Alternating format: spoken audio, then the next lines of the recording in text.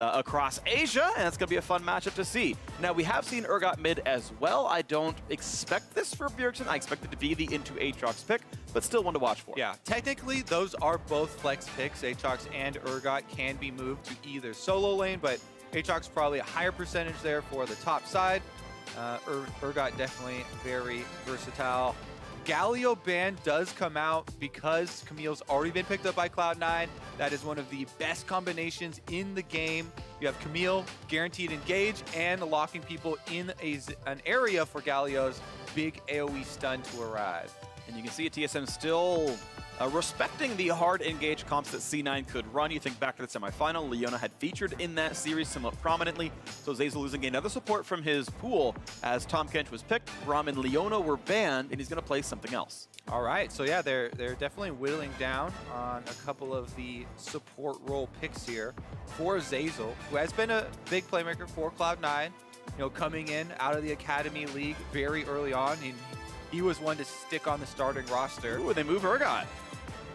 Urgot, yep, switch down here, probably to Bjergsen now. Could definitely have a little bit of wiggle room, but not that Urgot much. jungle!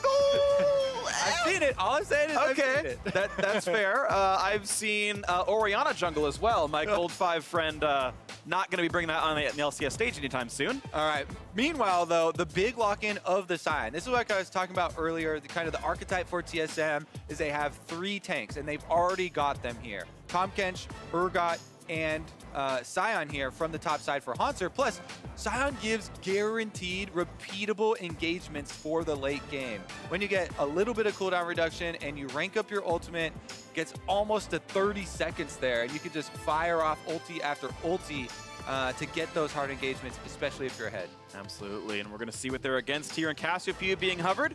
And Jensen going to play Cassiopeia into Urgot, a matchup we saw in Echo Fox versus Clutch. It was in the top lane. Uh, this one going to go into the mid lane now and, as well. And that one in the top lane also had a first blood start, yeah. Uh, level one. Yes, so it, it, wasn't, you know, the greatest of samples.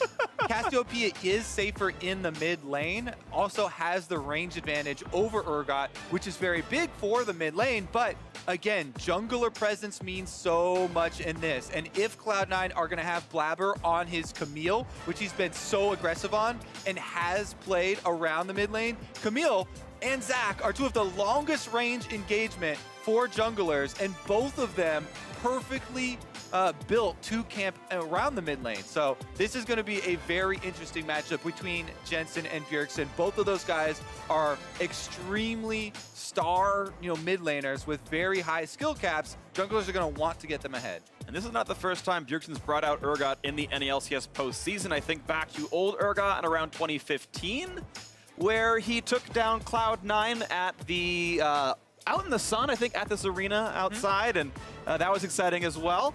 Either way, we are into game one of this best of five. Aatrox coming back in North America. Blaber on another aggressive player with that Camille, but Zac still in the pool for Grig.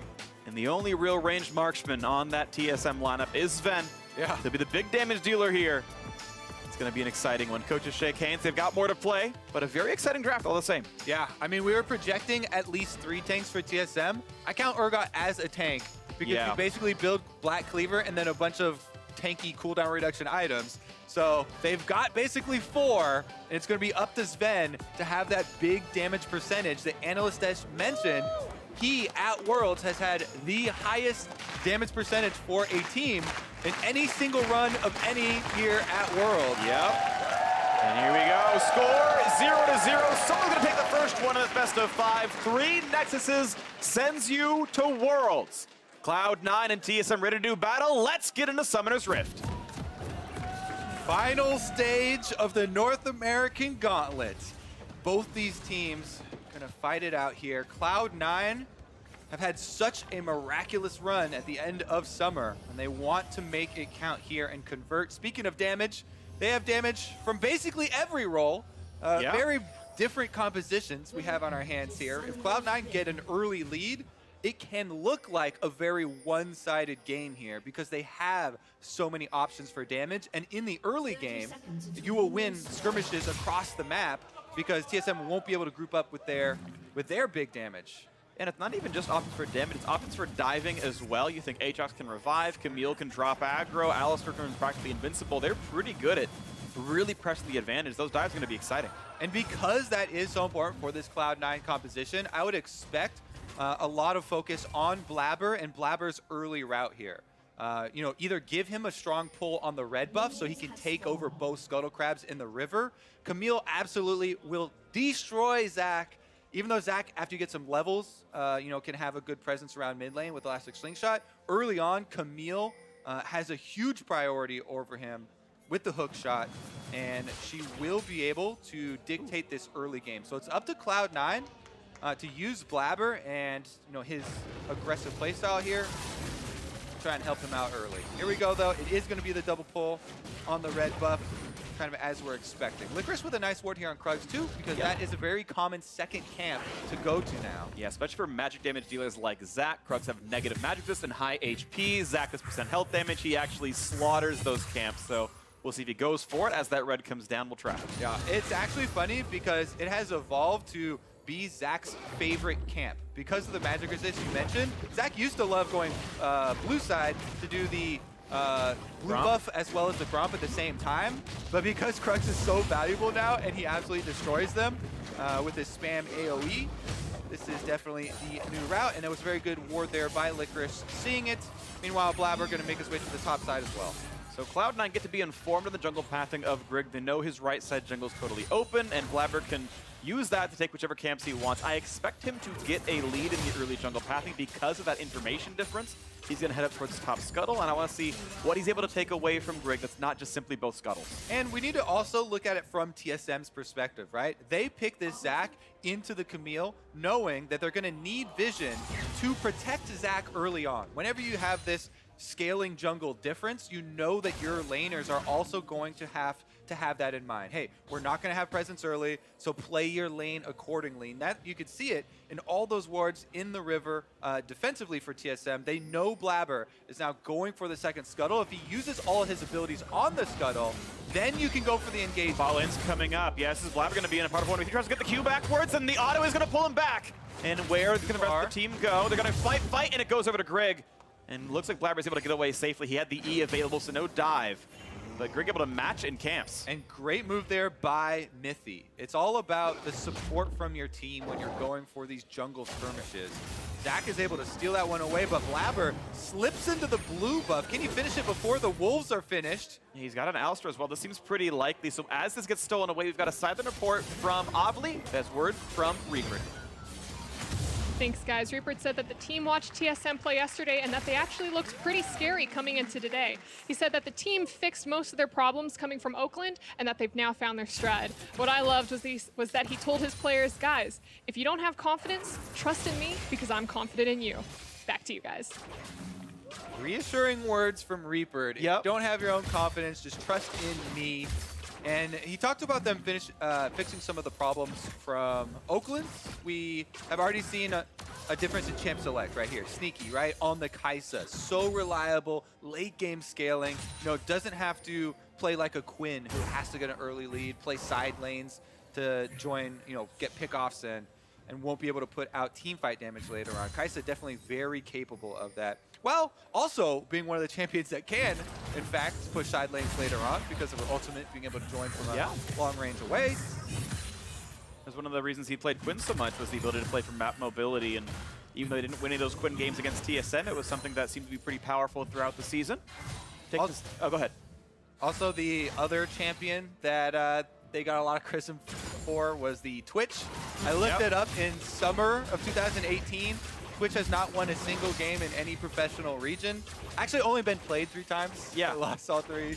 Uh, SKT first, Gen G was the other one where Bing tried to use it. Yeah. But not anyone finding success with that one quite yet. Okay, we'll see it come back one day. I'm sure we will. Either way, we take stock of the map real quick. And we did see earlier, Blue Buff gets stolen away. Blaber should have an eventual camp lead over his uh, opposing jungler in Grig. But the rest of the lanes, you've got plus eight for Licorice in the top lane, a very small lead for Jensen in mid, but a quite sizable advantage for Zven and Mithy down on the bottom side. So advantages on different sides of the map. You expect Aatrox to be a lane bully. Uh, Varus kind of the same. Should almost always be ahead of uh, Kai'Sa at least a little bit. Yeah, this is with Kai'Sa with a teleport, though, also. Jensen actually gets ganked in mid lane.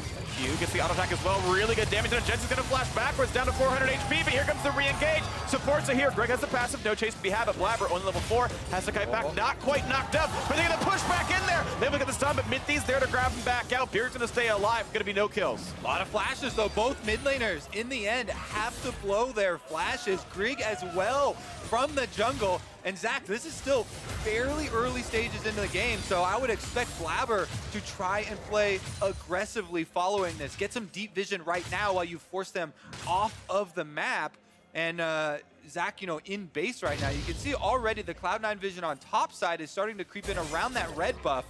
Would expect them, uh, you know, to make an offensive move up here. Blaber now taking over the scuttle, feeling very confident now as far as the flashes have been blown. Nice chunk down there. You mentioned that teleport was brought on Sneaky here. That TP has been used, and as both AD carries get back to lane, it is still a farm lead for Zven, they both got pretty decent recalls. Blaber seeing if there's a play to be had on the top side. Keep in mind, level 6 for both top laners means Chance dive could be there, but now on the bottom side, teleport's coming down as well as the fight is coming in. Grig level 5 looking for the next play to be had. Zeyzal gonna zone out the rest of these players, but he's a bit alone. Ult's gonna go wide, finds a stun, but he has nowhere to go. First blood to be grabbed, goes over to Bjergsen. Big pickup here for TSM. First blood in the mid lane for Bjergsen. After all the shenanigans that we just saw with everyone blowing flashes and the conversion around mid lane, he actually uses the teleport bottom. This is something that you do need to be aware of for Cloud9. He just got off his recall from mid lane, uses the teleport bottom lane. It's actually just a very good ward that they had there previously. Uh, super deep, allowing Bjergsen to come in right behind the C9 duo as they were pushing up in the lane. And that was one of the first times that they had been that exposed. They're down in CS, being pushed under tower by Varus, and TSM very happy uh, with that first blood and this early lead. That's going to feel really good. The only kind of recompense in the mid lane was 4 CS for Jensen. Those mid laners are still equal otherwise, so a well-timed teleport with Spellbook turns that into an Ignite for the time being, so uh, Bjergsen might find a repeat gank at some point, or can at least defend himself. Yeah, Azale talked about it yesterday, uh, had a little Urgot demonstration, and mentioned the spellbook and the options that you have with this, right? You can swap over, catch people by surprise with a teleport, even smites later on, so keep your eyes on which summoner spell uh, Bjergsen does go to. Right now, though, Blaber goes all in on Grig. Intense with the ult as well. Ult's going to come across, pulls him right back out, smites onto the red buff, going to jump away, staying alive on this one. Now Blaber, sadly for him, the red buff is going to leash back. He has a top laner around, though. They might stay. Yeah, he should be able to finish it off with uh, pure damage here. Both of them did use their smites on uh, the fight earlier on. Grig trying to get some life back, and Blaber trying to use a challenging smite for some true damage. They don't get the kill, but they do steal away the red buff and exchange ults. This has been good invading by Blaber, though. On this very early pick, Camille got a lot of pressure, has now taken half of Grig's buff so far this game. Yeah, and to be fair to Grig, this is what you have to do with this champion matchup. Zac is on the defensive early on. Uh, very good stuff here by Grig, though, making use of the early power that Camille is going to have in that matchup. Also, again, the solo laners collapsing for Cloud9 and coming to help out with that invade. You can see the almost 20 CS lead on top side for Licorice with his Aatrox.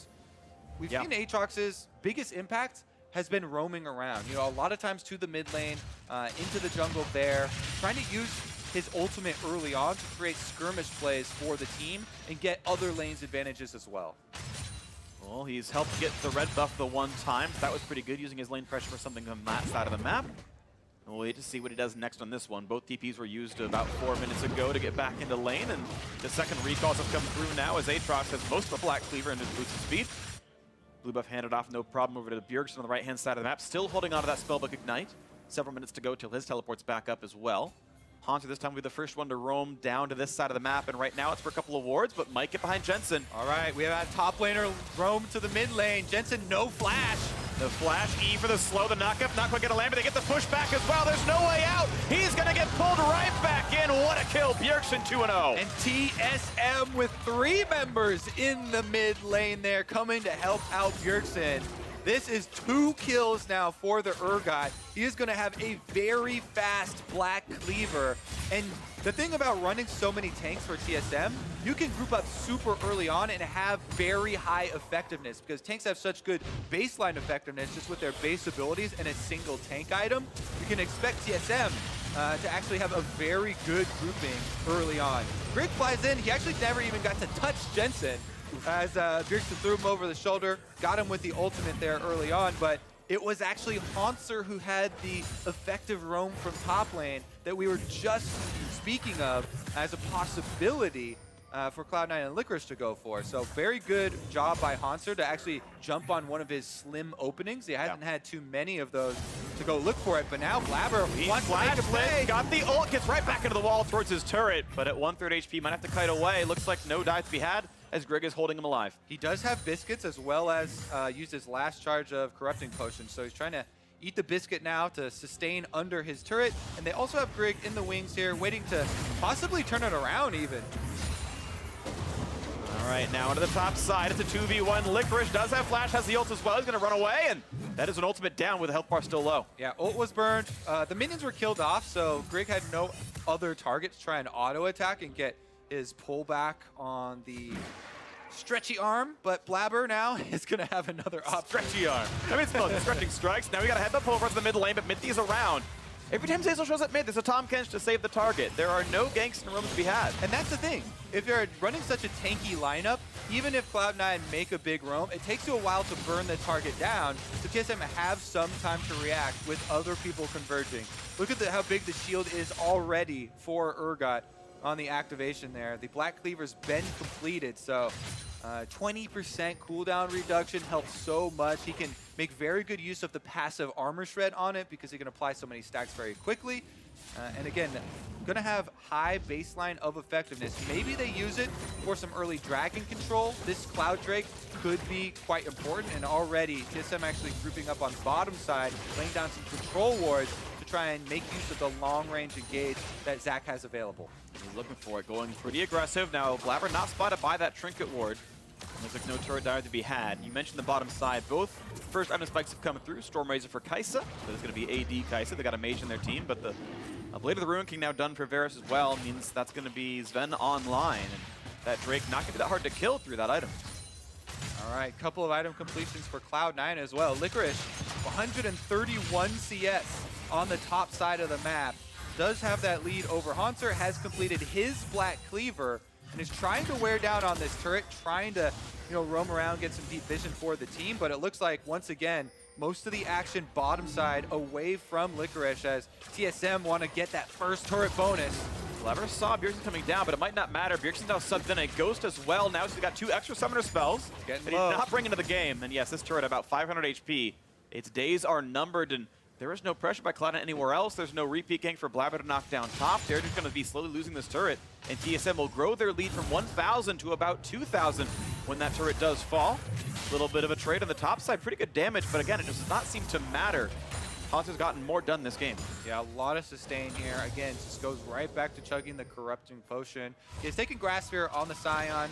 Once again, the recent changes to Sion that have seen him rise to almost 100% uh, presence in pro play has been that he gains very easily a lot of health from killing the minions now, um, just passively as he stacks up.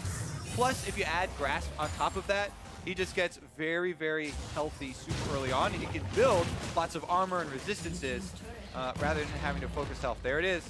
Yep, TSM getting their cake, eating it too. Cloud Drake plus first turret, and Cloud9 have done nothing to stop TSM so far in this game. The lead, almost 2,000 gold. They will get at least an answered Rift Herald, that is 100 gold plus at least a charge on a turret somewhere.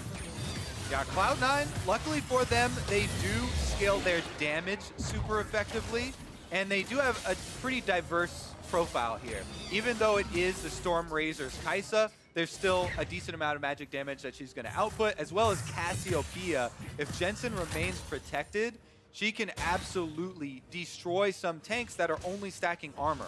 As of right now, Hauntzer is purely built, uh, itemized for armor. Uh, only his lane opponent, Bjergsen, has stacked up some magic resistance right now uh, with the Negatron Cloak. We'll see when that comes online as Grig's going to make his first luxury purchase. He's got his uh, Cinderhulk done already, so we'll see if that's Knight's Vow for armor or maybe a Spirit Visage for the very obvious MR plus healing synergy. Wait for that one later on. TSM moving back around the map though as Mickey clears away the wards. And they've been the proactive team, which is actually a little bit weird to say in this match. Cloud9 typically have had better early games, and TSM, you heard actually in, in the Bjergsen mini interview before the game, he said that they felt pressured that, oh, there's a Graves going to scale up. We suddenly have to be the proactive team. We have to make moves in the early game. Mm-hmm. But in this one, they are the team making the moves in the early game, and, and they're being benefited from that with their 2,000 gold lead now looking to move their team towards that mid side with we bot to go. be pushed in. With the Cloud Drake, it makes the roams like this uh, much more threatening. You can see Zven moving in there towards Jensen. With the extra speed, you can get uh, in range and threaten that ultimate with the Chain of Corruption.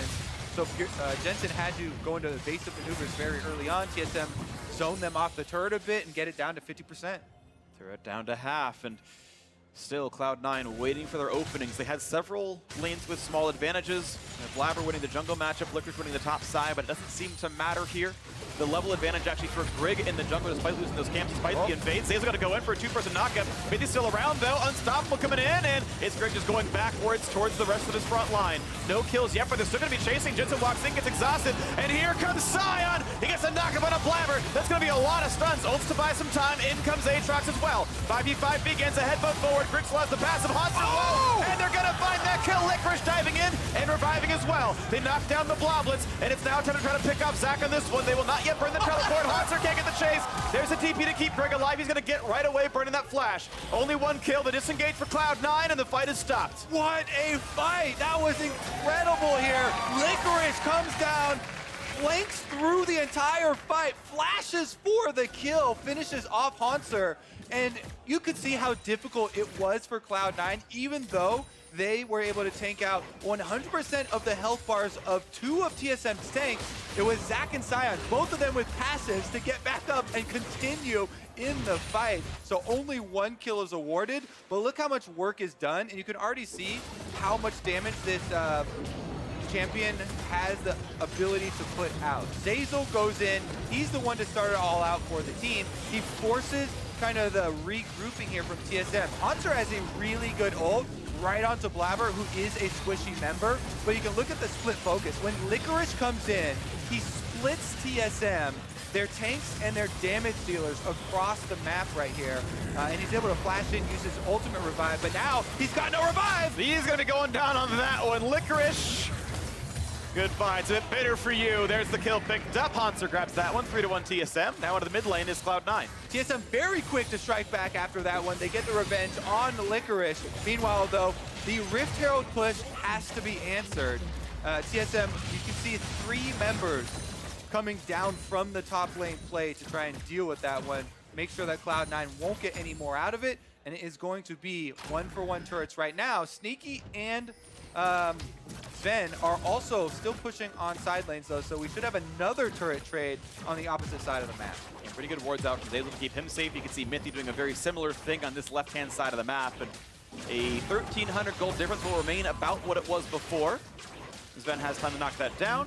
Gets all the local gold. Mithy only the plus 50. In this turret, there is a Sion nearby, but I don't expect this to be defended by TSM. Hauntzer just going to grab a little bit of gold for himself.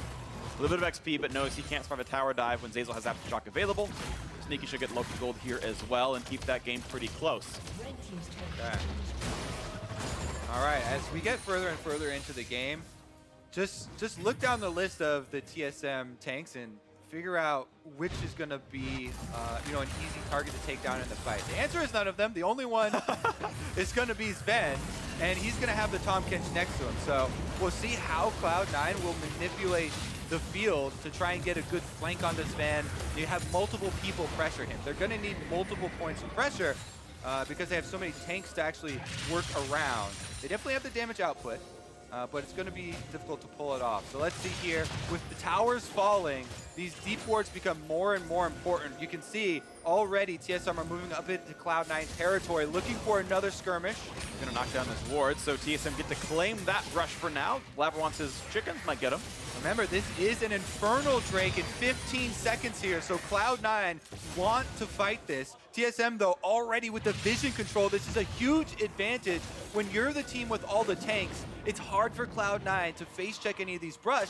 They don't have a super tanky member that wants to take those hits. Licorice is in! Over the wall, they're gonna go in for this one. Under the back line goes Kai'Sa. Can they knock off anyone? Mithy a bit low. Zven's gonna stay alive. Watch ever He gets away. Flashing away from the ultimate. It's engaged for Cloud9. Licorice hope gonna end. Sneaky chunked again a little bit, but now they've got the jump on towards Sion. Hauntzer flashless. They've got the channel onto him. He's gonna go down. Jensen getting the second kill of the game. Now as Cloud9 get another one for zero. Once again, Licorice flanks down from the top side. This time, though, Cloud9, they chase off one of the tanks away from the rest of the group. And with the Camille ultimate, they know that Hauntzer will not be able to get away, so Blabber traps him in. They finish off the kill, and Cloud9 starting to mount that comeback. They're not ahead in gold, but they have claimed the Infernal Drake for themselves. Game getting a lot closer. Watch this fight one more time.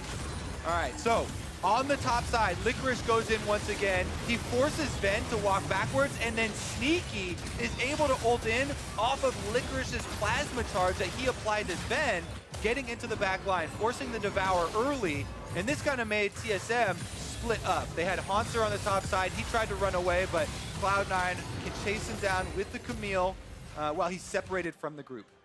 And you mentioned the fact that Hauntzer had built only armor so far, still no magic resist, which meant he was pretty easy to cut down for Jensen here on this Cassiopeia. 3,000 gold in that fight, most of it into a very tanky Sion, but not against magic damage. It's definitely necessary for you to have a split damage profile when you're facing a team that has four tanks. Yeah. Oh, yeah. because you don't want the enemy tanks to be able to have very gold efficient builds, only stacking one type. And that has worked out pretty early on here for Cloud9. Let's see about the next setup though, because it could very easily go the other way. Uh, if these control wards for TSM allow them to get the engagement on their terms. This is a Zac and a Sion, very good long-range engagements that have follow-up engagements from the Urgot as well as the Varus with your Chains of Corruption. That can look like a very long form of CC. Licorice now is going to be the target again as TSM go for the side lane. Might be found out on the side. Knock up, not quick going to land. He's gotten away from two of those so far, but now he's going to survive a 1v2 as Bjergsen's shown up, and the rest of the team only staying in the mid lane. So Licorice getting brought lower where they wait out the ultimate, Oh. and they're gonna force the revive. TP coming in now for the rest of the team to show up as Sneaky joins the fight. 2v1, Licorice trying to stay alive, trying to dodge the ultimate, but gonna be chased down, and that's gonna be a kill picked up now for Hauntzer. Now Zeyzal gonna be careful, at half HP, flashing the wall, but the ultimate still there, still available for Bjergsen. They bring him low, they can knock that kill down as well, and Cloud9 give up two kills. And look at that, the two tanks from TSM are full health. Even with Licorice trying to fight them on the bottom side and fight his way out, they don't even put a dent in them. So he goes down again, plus the rest of Cloud9 who tried to collapse and help him out. This is going to be TSM taking over the Baron Pit area. With Blaber having Flash and Smite, you expect an actual Baron attempt to not be on the table, but they are going to try. They're going to force Cloud9's hand, make them face check. 50-50 is unlikely, but the ability to stop the team fight could be easy. And C9 have nobody healthy enough, no one tanky enough to face check this. All they have are squishy damage dealers and the possibility of stealing away. Licorice is alive again, though. 4v5 on the pit. Vision's there. Blaber can spike. Can he beat Grig for this one? She doesn't help. How are we going to last one? Oh, it's beautifully done by Bjergsen, switching over to smite with a spellbook, and the fight begins. And an ultimate coming in for Grig. A lot of damage to the front line, but the tanks are beefy. A kill onto Hauntzer, and the blob is now picked up as well. No TP's available. They can kill off Grig. He can die. Zaza will fall. The flash out, and can't kill the bloblets. Uh, TSM get the Baron one for one. Again, the Zac and Sion passives. After you do all that work burning through these tanks, Zac is able to get right back up, and Sion takes down a counter kill on your support with Zeyzal dropping here. So Cloud9, they aren't able to steal away this Baron. Have another look here, Freak. The Acer Predator replay here onto this one, and the dive over, they choose to 50-50, and the double smite beats out Blaber. All right, so TSM, after securing that though, Cloud9 take the fight inside the Baron Pit. Blaber goes in, uses his stopwatch there. Bjergsen flash over the wall, and even though it looks like they have the early lead in this fight, the Sion Zombie forces a flash and gets a counter kill, while also buying time for Z uh, Grig to get back up, flash over the wall, and get himself to safety. So TSM with the Baron buff are able to take down the mid lane turret as well, and Cloud9 need to defend. Kobe, I think we have to recalibrate what we consider 50-50 smites, with Spellbook getting more and more popular, especially on mid laners, who are the highest level champions in the game. That extra smite is so easy to make sure you land. Blaber never had the option of smiting that one on time, and TSM could say, yeah, you've got a jungler with Flash Smite. That doesn't matter, our smites are bigger, and they were right. Yeah, it's also hard to coordinate your double uh, smites on your own team, though. TSM once again, looking for Licorice in the side lane. This would be the third time, if they can chase him down, that they were been able to catch him out. They can't do it, though. Pops the ult, he runs away, and he actually buys a lot of time for Cloud9 here. He took out the minion wave. That's yeah. very important. Now there are no more minions. Oh, there's a cannon minion. Never yeah. mind. Cannon's going to be in range to break down the barrier. And they've got tanks in the front line just to siphon off a little bit of this one. And slowly but surely, that turret is gonna fall. So TSM up 4,000. They've still got Baron buff on four members and a minute to work with. All right, Cloud9 in full defensive mode right now. They need to just keep themselves safe at these turrets, wait out the extra minute of the Baron buff that's gonna come through. Right now, 44 seconds left on this Dragon. So TSM will still have Baron buff for the Drake that comes up and should be able to get priority over that area of the map, take the Scuttle Crab, uh, and set up enough control wards that Cloud9 will not be able to contest. see if they do it, though. We'll see. 45 seconds. Baron, of course, will be easily on during the Ocean Drake fight as TSM start making their way down, grabbing their whole jungle. A blue buff on his vent. CDR, not a bad stat on that champion. Three item spike in for him. That's going to feel really good. Hurricane plus the two on hit items is a great spot to be at for the Varus. Sneaky still waiting to get towards that Zhonya, so a much more powerful marksman down in the bottom lane. Zven having a much better game here. Third item in there as well for Bjergsen, the Righteous Glory to set up the hard engage. And look at all these wards coming down. They are keeping C9 out of this area of the map. They can spot them if they walk in. And it could be a very, very easily grab Drake. Yep, doing exactly that, setting them all up here. They've taken the Scuttle Crab. They have full priority. They have the long range engage, so that's why we are saying it should be their Drake to lose. Cloud9 will not want to get in range for a pick at the moment. It's just so easy for TSM tanks to get someone down to 25%, allow Bjergsen to finish them off with the ultimate. Drake has been picked up here. That is now two for TSM. All right, Cloud9 on the back foot, but with Baron gone, they can defend their turrets with relative ease. Keep most alive. TSM did not pick up too much gold during that. The Baron power play, only 600 gold above what uh, the simple Baron kill itself would give. Game still within striking distance, but Cloud9 on the back foot or tail in Jensen's case. And TSM waiting for the next play. A while to go until Baron's back up. Three minutes and change. Drake's going to be in six, and it won't even be the Elder. All right, now Cloud9, this is a dangerous period because they have consistently uh, gotten picked off in the side lane by TSM with good moves from TSM solo laners to allow TSM this lead that they've got right now. So this is the area of the game where Cloud9 want to stall and farm up. If you have a couple more items on all of these DPS members, that's when you really start to become threatening uh, as far as burning down some of these tanks and winning the team fight. In the middle area of the game here, around 30 minutes though, it's very difficult uh, you know, for this team to actually focus one of these tanks down in time and before TSM can actually get that lead. Zac now looking for some long-range engages from the other side. And TSM pushing down this turret while Sneaky is actually pushing on top side for Cloud9. They're trying to trade turrets here. All right, 4v4, right. to the front line, TP in for Sion. The pass gonna be popped for Grig, but he's okay for now as the team shows up for the rest of the team fight. They're gonna still keep Kai'Sa in the top lane. Now how's the engage gonna work? Grig is down, the TP coming in finally for the marksman. A 5v4, those could be Cloud9's fight. Blaber forced to flash away, but the front line's still very durable. The back line not too bad either. Mithy bit low, Licker's gotta be respectful. A stun comes in, Zven stays alive. It's a 4v4, Hauntzer walks back. Watch out for Jensen, he's knocked up. He's not going down, he forced the zone. He's now Bjergsen, look for his next oh! Chase. Licorice is low. Those flash for Hauntzer, but he's going to be traded back by Sneaky. In goes Jensen. In goes Blaber. Trying to kite away. Over the wall goes Bjergsen. Can't quite find that kill. TSM routed. Cloud9 get up a kill. Is Blaber going to keep chasing there? Bjergsen's so low, but Mithy's bodyguard right now is going to allow him to walk out. And that was an incredibly long tower dive. A lot of DPS actually done by the C9 turret in this. TSM force it because they see Sneaky top and they know that without the Kai'Sa, they actually have a chance for this. But what a counter from Zeyzal. Oh. Gets him with the pulverize, completely destroys Grig's opener here, and that forces TSM. They try and protect his Bloblets with a secondary engage. And just look at all these stone plates from the TSM tanks. First, it's Hauntzer with the Sion, barely takes any damage. Then, on the re-engage here, Bjergsen on the Urgot is going to go in. He has a stone plate for himself, too. Right there, they try to get the counter engage onto Zven, take out the big damage source. But here's number two. Hauntzer's healing up. He uses his stopwatch. Licorice flashes in for the kill once again, though. He, him taking out the Varus uh, was very big, allowing Cloud9 to finish the chase. Then Hauntzer obviously gets his flash explosion off too. His zombie gets slowed down though, so he's not able to chase down Blaber. We're back to the hectic mid game as the minion waves go back and forth. This game is at only two and a half thousand, and any team could win this one.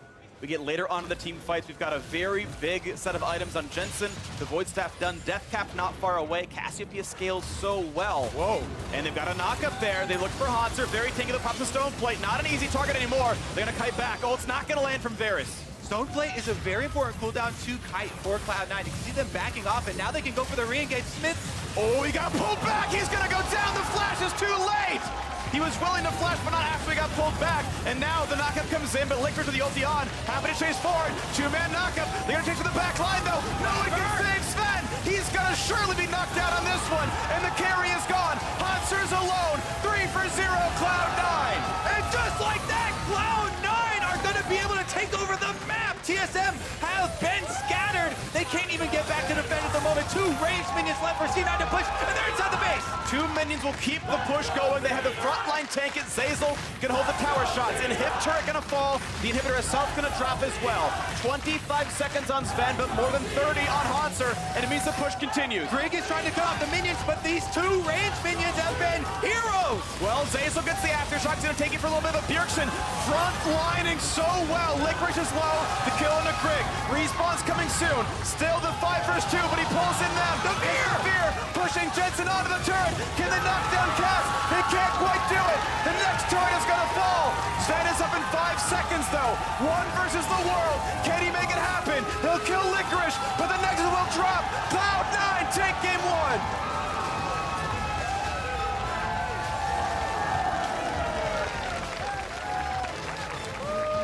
The stadium here absolutely erupted as that team fight began. TSM had control, but Cloud9, as soon as they got that pick, they kited, kited out the first stone plate.